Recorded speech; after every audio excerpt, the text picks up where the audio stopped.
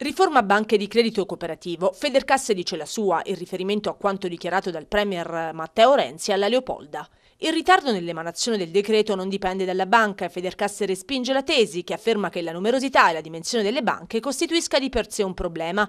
Ogni BCC, parliamo delle banche di credito cooperativo, sono inserite in un contesto locale, come all'Aquila del resto dove è ben radicata e genera economie di scala. Nascerà con la riforma un gruppo bancario cooperativo e sarà il primo per capitali tutti italiani e il terzo per volumi complessivi. Federcasse ricorda che oggi un cliente BCC possiede obbligazioni ordinarie emesse dalla stessa banca e garantite dal Fondo di garanzia degli obbligazionisti e può contare su una garanzia che arriva a 103.000 euro, aggiunta a quella di 100.000 riconosciuta per legge ai depositari visitanti.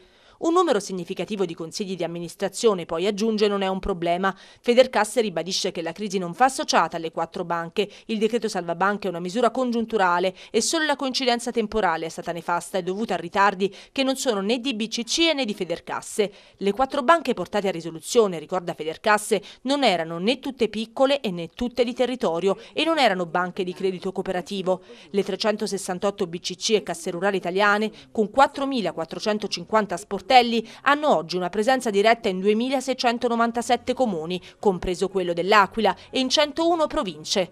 Con 1.230.000 soci e 37.000 dipendenti certificano una raccolta diretta di 161,5 miliardi di euro e 135,5 miliardi di impieghi. Gli impieghi delle BCC rappresentano il 22,6% dei crediti alle imprese artigiane, l'8,6% alle famiglie, il 17,8% alle microimprese familiari. Lo stock di impieghi negli ultimi anni è cresciuto di sette volte, così come la quota di mercato media sugli impieghi si è raddoppiata.